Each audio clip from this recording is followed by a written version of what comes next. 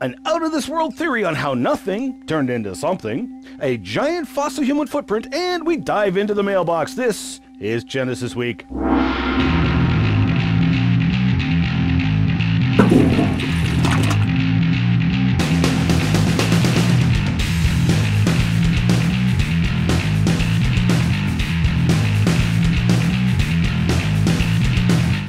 And welcome to this episode of Genesis Week, the weekly program of creationary commentary on news, views, and events pertaining to the Origins controversy, exclusive right here on YouTube. Still, one of the most discussed videos on YouTube in science and technology. We bring you the information the anti creationists don't want you to see or hear, and we show the glory of God in creation.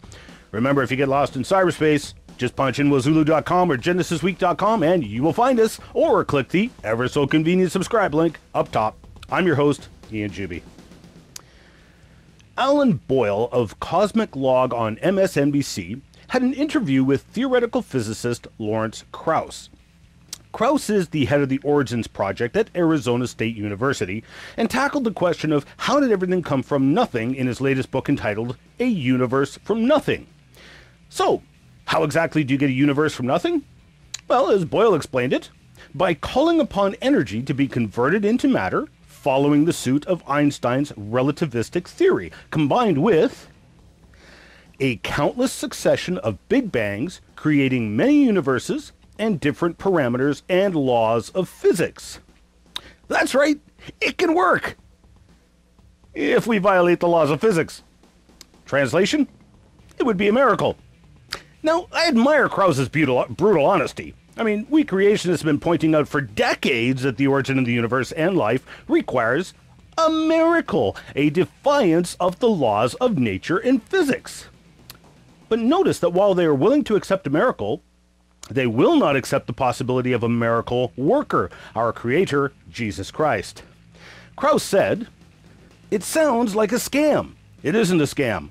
Once you allow gravity, the amazing thing is that you can start out with zero energy and end up with lots of stuff.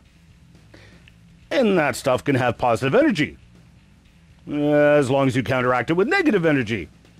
Gravity allows energy to be negative. I liken it to the difference between a very savvy stockbroker and an embezzler. The savvy stockbroker will buy on margin and buy more stuff than they actually have money to account for.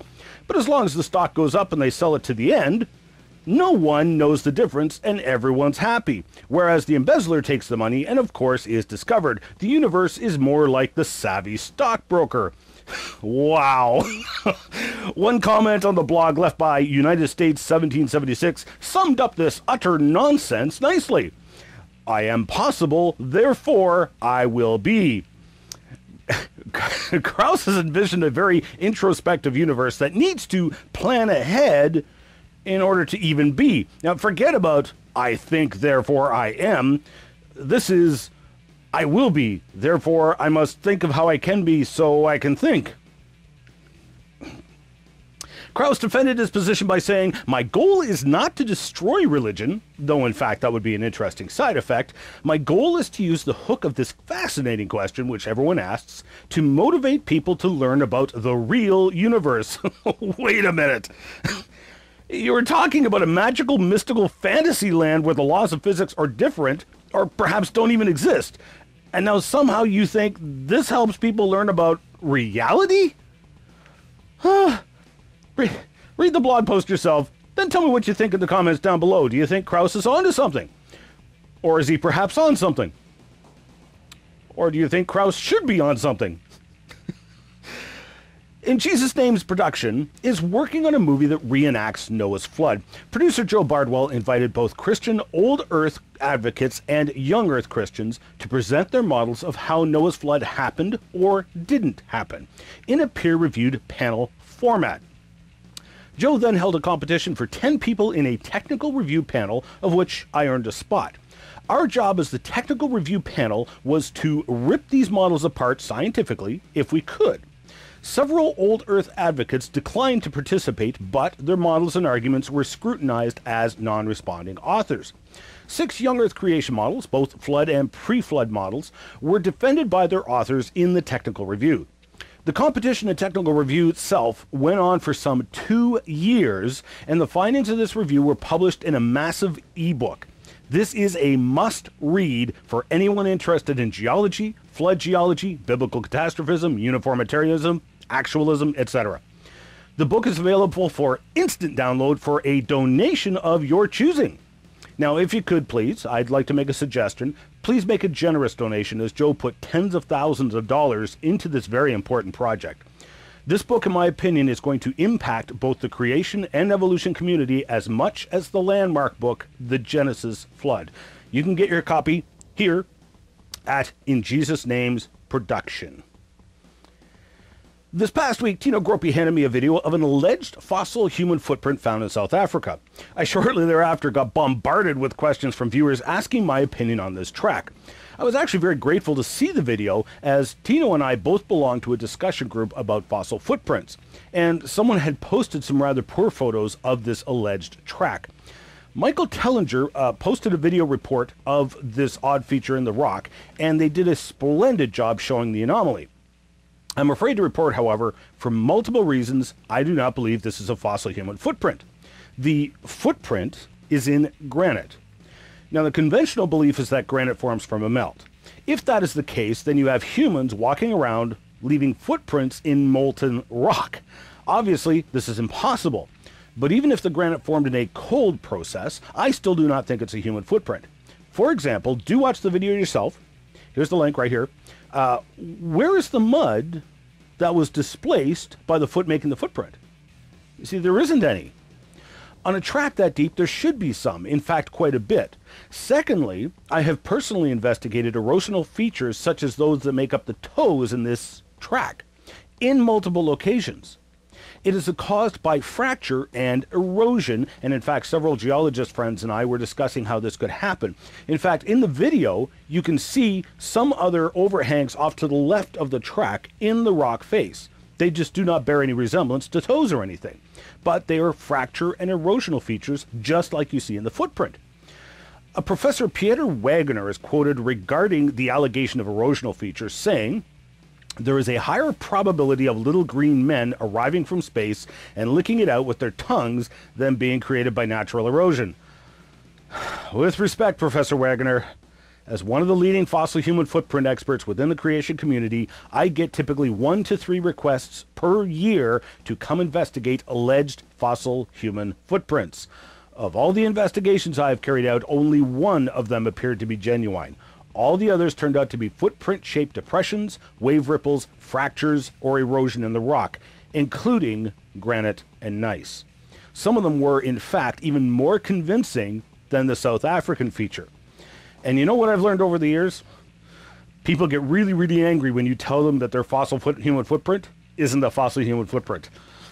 The fact is that you can get so many shapes and depressions in rocks that you will get footprint impressions, human or otherwise.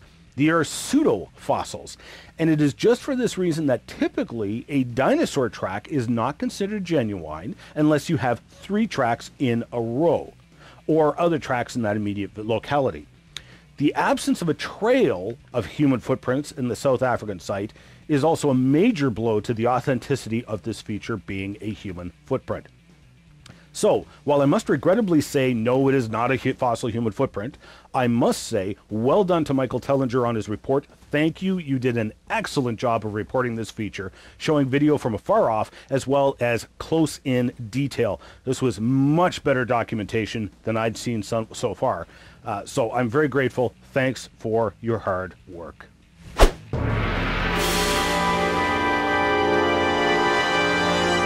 Woohoo! Mail for me?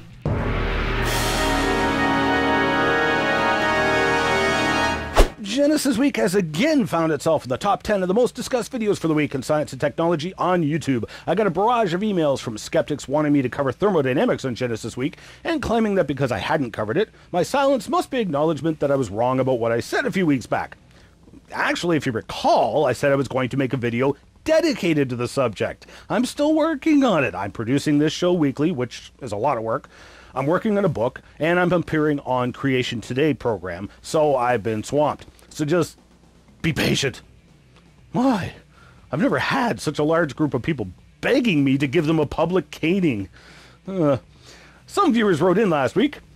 It really makes me mad that he never bothered to tell people that the lizard hip dinosaurs evolved the bird hip in parallel to the other line of dinosaurs. I've said it before and I'll say it again this man is willingly leaving out or distorting information, and I beg anyone who sees this video to just check the facts out for themselves.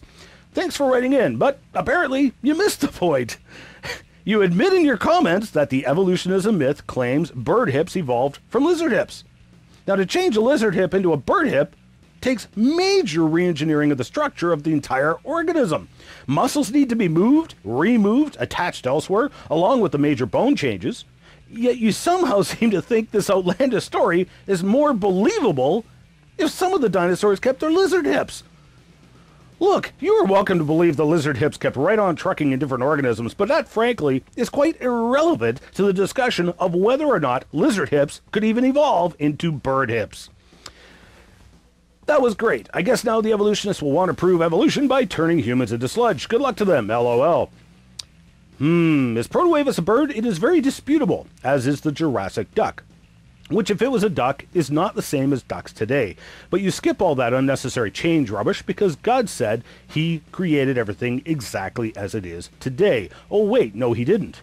In fact, there is nothing in the Bible which says the slightest thing about the issue, hence why most Christians are clever enough to accept evolution. How you can deny evolution when it is observable is beyond me.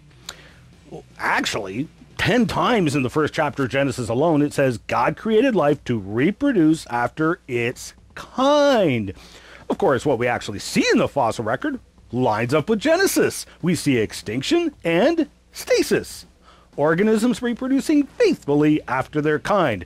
This is what is observable. Evolution is not observable, testable, nor repeatable. Vegavis also wrote in about Protoavis. Also, I'm not sure what possesses you to claim that Protoavis is a bird when the majority of paleontologists disagree with Chatterjee's original diagnosis. All that is known for sure is that Proto-Avis was an archosaur. Next, the Horton Trackway was made by an amphibian, and many Maniraptor dinosaurs, from which birds derive, including Velociraptor, have a posteriorly fa facing pubis, just like modern birds.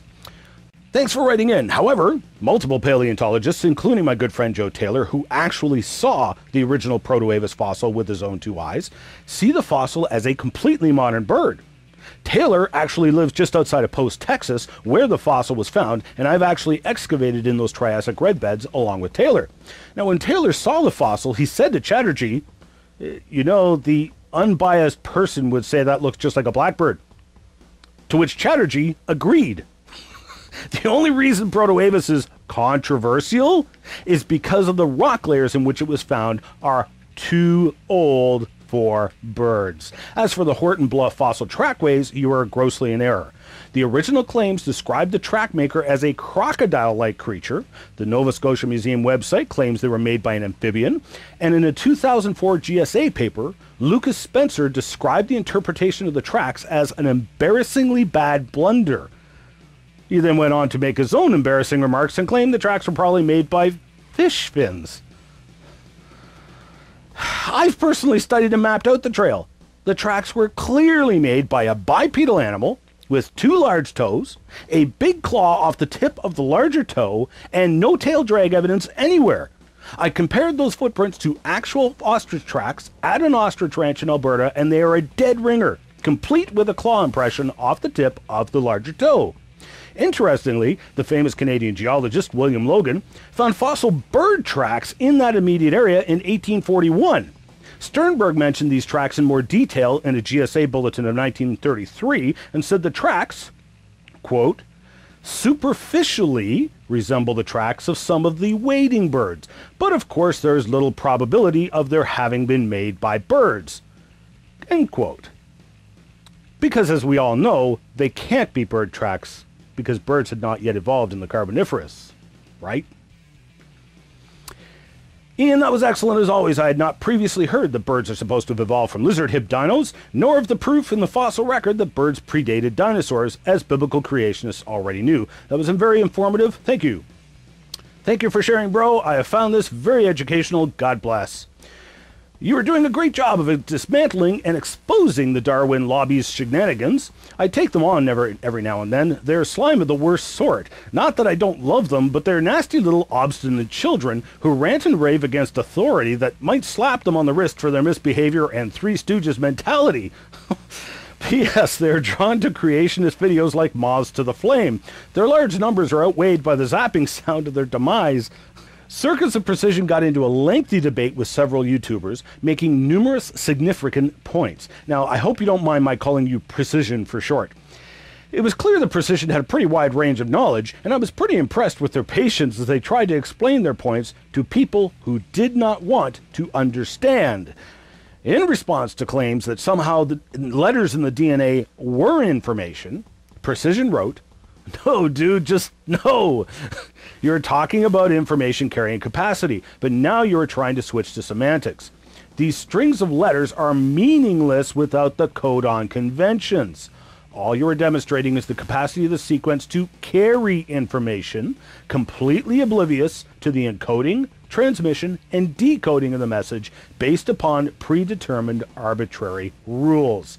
You are right on the money, Precision. Letters do not equal information. Letters convey information. You need more than letters. You need someone to assemble the letters into information, a system for conveying the information, a system for reading the information, and a system for using the information, as Precision pointed out, based on predetermined arbitrary rules. A simile would be someone speaking Arabic to someone who speaks and understands only English. Loads of information there, but they are operating on different rules to convey information, and the information is lost and unusable because of the system breakdown. The incredible systems involved in life that use the information in the DNA are staggering in their complexity and necessary to read the information in the DNA. But the information on how to build those systems necessary to read information in the DNA comes from the information conveyed by the DNA. it's a codependent system. As we can see in the comments left against precision by those who refused to understand, one can truly say that there is none so blind as those who will not see. The comments were just as shocking to follow as the story of Jesus healing the blind man from birth and the reaction of those who did not want to believe in Christ. You can see why Jesus said, For judgment I have come into this world that they which see not might see and that they which see might be made blind. Precision, I don't know who you are, but for your valiant efforts in the intellectual battle, I salute you. Well, that's it for this week's show. Thanks for watching and ranting. Please click share down below and share this program with your friends on TwitFace Plus and subscribe up top. Remember the words of Jesus who said, I am the way, the truth, and the life. No man comes to the Father but through me. See you next Thursday.